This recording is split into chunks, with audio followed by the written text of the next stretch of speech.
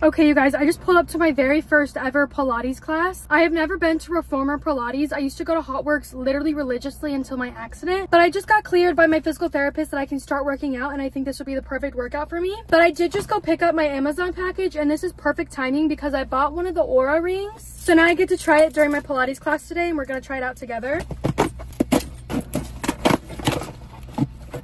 I decided to get the Horizon style because I didn't like the bump in the Heritage one. And of course I got gold because we know I love gold. So we're gonna see what it looks like.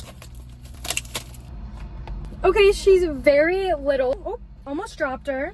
And it comes with the charging and all that stuff. I just downloaded the app, so I'm gonna go set this all up and then show you guys what it looks like. I just used the app to get it all set up and this is what she looks like. But now I'm gonna go into Pilates.